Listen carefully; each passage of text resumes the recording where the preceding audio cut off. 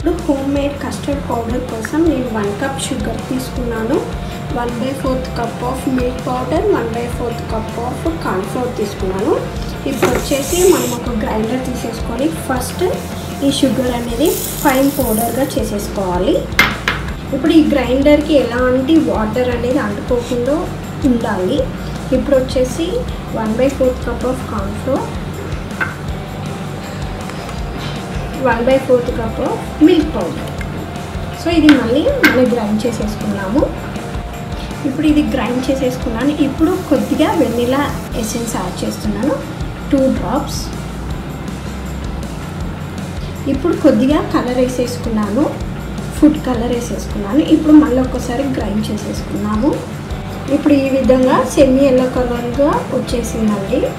ఇప్పుడు సో ఒక air tight ఇలా వచ్చేసిందండి. ఇప్పుడు మనము ఫ్రూట్ సలాడ్ ఎలా తయారు చేసేసుకోవాలో చూద్దాము. నేను కొంచెం క్వాంటిటీ తీసుకున్నానండి. ఇప్పటికి సరిపోయేంత తీసుకొని మళ్ళీ గ్రైండ్ చేసి మీకు చూపించాను. ఇలా వచ్చేసింది.